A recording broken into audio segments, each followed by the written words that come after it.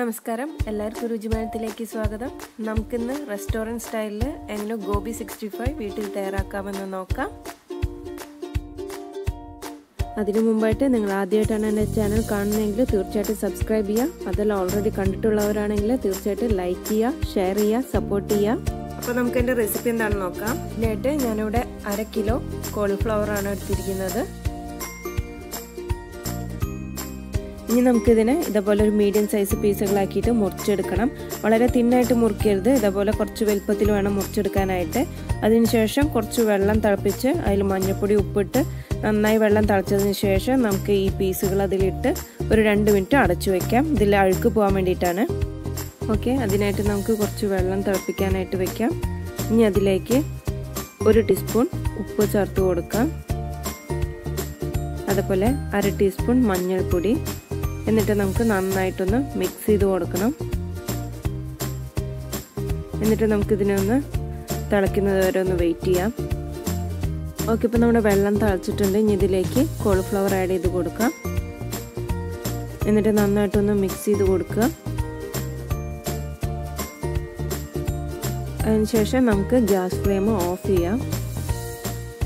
Okay എന്നിട്ട് നമുക്കിതിനൊരു രണ്ടോ മൂന്നോ മിനിറ്റ് അടച്ചു വെക്കണം. അപ്പോൾ ആ ഇതിൽ അഴുക്ക് പോവുകയും ചെയ്യും. നമ്മുടെ കോളിഫ്ലവർ ഒന്ന് സോഫ്റ്റ് ആവുകയും ചെയ്യും. അതിനുശേഷം നമുക്കിതിനെ ഊറ്റിയെടുക്കണം. ഓക്കെ ഇപ്പം നിങ്ങൾക്ക് കാണാം. ഞാൻ നമ്മുടെ കോളിഫ്ലവറിനെ നന്നായിട്ട് ഡ്രെയിൻ ചെയ്തെടുത്തിട്ടുണ്ട്.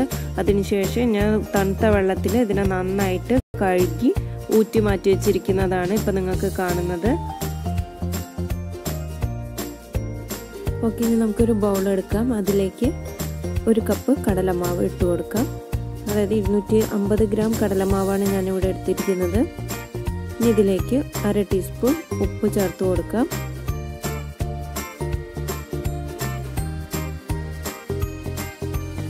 ഒരു ടേബിൾ സ്പൂൺ കോൺഫ്ലവർ നമുക്കിതിലേക്ക് ആഡ് ചെയ്ത് കൊടുക്കാം.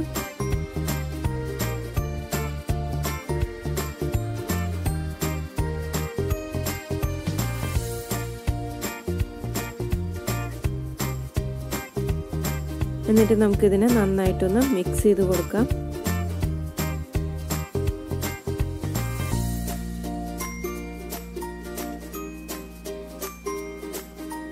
ഇനി ഇതിലേക്ക് രണ്ട് ടീസ്പൂൺ കാശ്മീരി ചില്ലി പൗഡർ ഇട്ട് കൊടുക്കാം. കുറച്ച് കളർ കിട്ടാൻ വേണ്ടിയിട്ടാണ് ഞാൻ കാശ്മീരി ചില്ലി പൗഡർ യൂസ് ചെയ്യുന്നത്. അര ടീസ്പൂൺ ഗരം മസാല. ഒരു ടീസ്പൂൺ ജിഞ്ചർ ഗാർലിക് പേസ്റ്റ് അര ടീസ്പൂൺ പെപ്പർ പൗഡർ.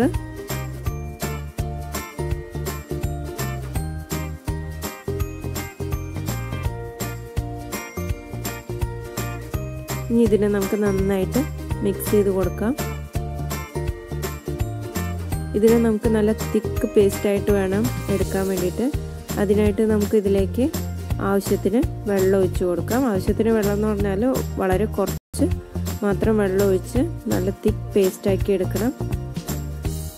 ആദ്യം തന്നെ ഒരുപാട് വെള്ളം ഒഴിച്ച് കലക്കിയെടുക്കാൻ പാടില്ല. കുറേശ്ശായിട്ട് വെള്ളം ഒഴിച്ച് കൊടുത്ത് നല്ല തിക്കായിട്ടുള്ള പേസ്റ്റ് നമുക്ക് ആക്കിയെടുക്കാം. ഓക്കെ ഇപ്പോൾ നമ്മുടെ മാവ് റെഡി ആയിട്ടുണ്ട്. നല്ല തിക്കായിട്ട് തന്നെ ഇതുപോലെ വേണം നിങ്ങൾ മാവ് റെഡിയാക്കാൻ വേണ്ടിയിട്ട്. എന്നാൽ മാത്രമേ നമ്മുടെ മാവ് ഇതിൽ പിടിക്കുകയുള്ളൂ. ഇനി നമുക്ക് കുറച്ച് മല്ലിയില അരിഞ്ഞതിലേക്ക് ഇട്ട് കൊടുക്കാം. അത് ഓപ്ഷണലാണ്. നിങ്ങൾക്ക് ഇഷ്ടമുണ്ടെങ്കിൽ മാത്രം മല്ലിയില ഇതിൽ ചേർത്താൽ മതി. ഞാനിതിൽ കുറച്ച് മല്ലിയില അരിഞ്ഞ് ചേർത്തിട്ടുണ്ട്. എന്നിട്ട് നന്നായി മിക്സ് ചെയ്യാം. ഇനി ഇതിലേക്ക് നമ്മുടെ കോളിഫ്ലവർ മാറ്റി വെച്ചിരിക്കുന്നത് ഇതിലേക്ക് ഇട്ട് കൊടുക്കാം. എന്നിട്ട് നന്നായിട്ട് മിക്സ് ചെയ്തെടുക്കണം. പറ്റുമെങ്കിൽ കൈ വെച്ച് തന്നെ നന്നായിട്ട് മിക്സ് ചെയ്തെടുക്കുക. എന്നാൽ മാത്രമേ നമ്മുടെ മാവ് ഇതിൽ നന്നായിട്ട് തന്നെ പിടിക്കുള്ളൂ. ഓക്കെ ഇപ്പോൾ നന്നായിട്ട് മിക്സ് ചെയ്തെടുക്കാം. എല്ലായിടത്തും ഒരുപോലെ തന്നെ മാവ് നന്നായി പിടിക്കണം. ഓക്കെ ഞാനിപ്പോൾ നന്നായി മിക്സ് ചെയ്ത് വെച്ചിട്ടുണ്ട്. ഇനി നമുക്കിതിനെ നന്നായിട്ടൊന്ന് ഫ്രൈ ചെയ്തെടുക്കണം.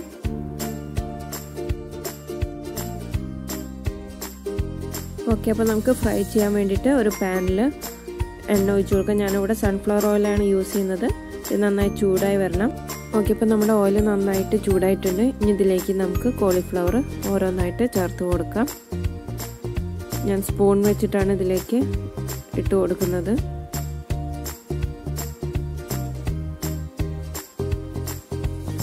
ഓരോന്നായിട്ട് ഇട്ട് കൊടുത്ത് നമുക്ക് നന്നായിട്ട് ഇതിനെ ഫ്രൈ ചെയ്തെടുക്കണം.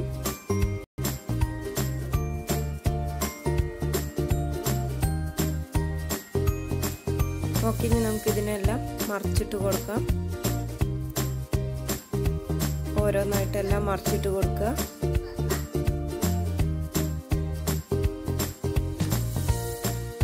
എല്ലാം മറിച്ചിട്ടതിന് ശേഷം നമുക്കിതിനെ ഇടയ്ക്ക് ഇതേപോലെ നന്നായിട്ട് ഇളക്കി കൊടുക്കണം. എല്ലാ ഭാഗവും ഒരേപോലെ ഈക്വലായിട്ട് തന്നെ നമുക്ക് ഫ്രൈ ആയി കിട്ടണം. അപ്പോൾ ഇതുപോലെ നല്ല ക്രിസ്പി ആവുന്നവരെ നമുക്ക് ഇതിനെ ഇളക്കി കൊടുത്തോണ്ടിരിക്കാം.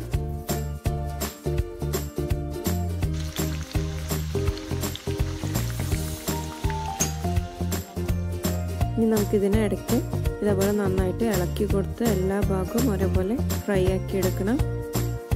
ഇപ്പം നിങ്ങൾക്ക് കാണാൻ നല്ല ഗോൾഡൻ ബ്രൗൺ കളറായിട്ടുണ്ട് നല്ല ക്രിസ്പി ആയിട്ട് വന്നിട്ടുണ്ട് നമ്മുടെ കോളിഫ്ലവർ ഓക്കെ ഇനി നമുക്കിതിനെ നന്നായിട്ട് ഡ്രെയിൻ ചെയ്ത എണ്ണയൊന്നും ഇല്ലാണ്ട് വേറൊരു ബൗളിലേക്ക് മാറ്റിയെടുക്കാം. എപ്പോഴും ഫ്രൈ ചെയ്യുമ്പോൾ നിങ്ങൾ ഇതേപോലെ ഒരു ഓട്ടയുള്ള കയ്യിൽ യൂസ് ചെയ്യാൻ ശ്രമിക്കുക.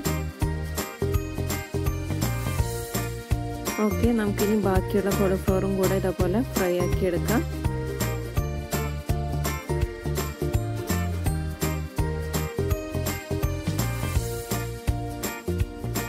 ഓക്കെ ഞാനിപ്പോൾ എല്ലാ കോളിഫ്ലവറും ഇതേപോലെ ഫ്രൈ ആക്കി എടുത്തിട്ടുണ്ട്.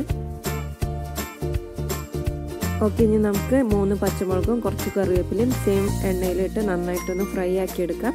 ഇതിന് നല്ലൊരു പ്രത്യേക ടേസ്റ്റാണ് ഉള്ളത്. ഓക്കെ ഞാൻ പച്ചമുളകും കറിവേപ്പിലും ഒക്കെ ഇതിൽ മിക്സ് ചെയ്തിട്ടുണ്ട്. കൂടാതെ ഞാൻ കുറച്ച് സവോള കൂടെ എണ്ണയിൽ നന്നായിട്ട് ഫ്രൈ ആക്കിയിട്ട് നല്ല ക്രിസ്പി ആക്കി എടുത്ത് ഇതിൽ ചേർത്തിട്ടുണ്ട്. ഓക്കെ അപ്പോൾ നമ്മുടെ ക്രിസ്പി റെസ്റ്റോറന്റ് സ്റ്റൈലിലുള്ള ഗോബി സിക്സ്റ്റി ഫൈവ് റെഡി ആയിട്ടുണ്ട്. ഇതിൽ ഞാൻ കുറച്ച് സവോള കൂടെ ഓയിൽ ഫ്രൈ ആക്കിയിട്ട് ഇതിൽ മിക്സ് ചെയ്തിട്ടുണ്ട്. ഓക്കെ അപ്പോൾ എല്ലാവരും ഇതൊന്ന് ട്രൈ ചെയ്ത് നോക്കണം. നല്ല ക്രിസ്പി ഗോബി സിക്സ്റ്റി ഫൈവ് ആണ്. അപ്പോൾ എല്ലാവർക്കും വീട്ടിൽ തന്നെ റെസ്റ്റോറന്റ് സ്റ്റൈലിലുള്ള ഐറ്റംസ് ഒക്കെ റെഡിയാക്കാവുന്നതാണ് എല്ലാവരും ഇത് ട്രൈ ചെയ്ത് നോക്കിയിട്ട് നിങ്ങളുടെ അഭിപ്രായങ്ങൾ അറിയിക്കുക. അപ്പോൾ അടുത്ത ദിവസം പുതിയൊരു രൂപമായിട്ട് കാണാം. Till then bye